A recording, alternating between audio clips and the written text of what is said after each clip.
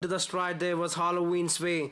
Traviaso heads the pack close to a length in front of Hukum flashing some early pace. Running third holding the fence we've got Order Order.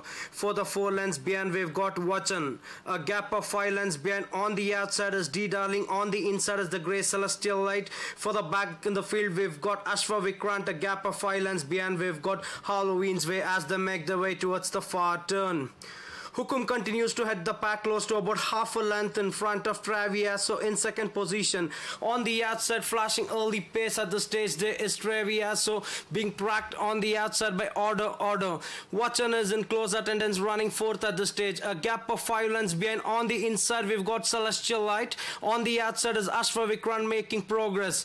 In between horses, we've got the other runners of Hukum as they make their way towards the 600. Hukum continues to head the pack close to about length in front of Order Order in second position. Watson has produced about three wide off the fence as test right now for the final running in the Yamuna plate.